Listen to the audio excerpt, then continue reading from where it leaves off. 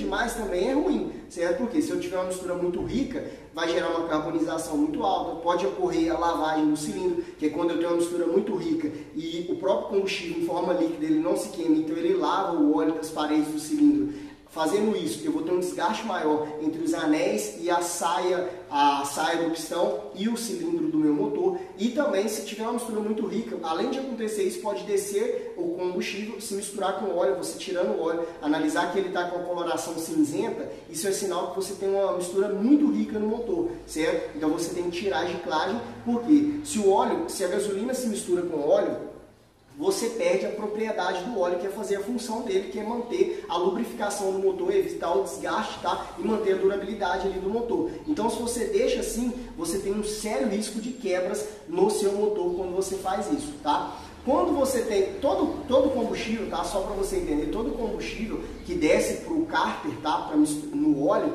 é, em pequenas quantidades, quando o óleo atinge 60 graus, ele evapora. Por isso que você tem lá o respiro, vai sair pelo respiro lá, certo? Então ele evapora. Mas se você tem uma, uma grande quantidade, vai misturar com óleo e vai ser prejudicial.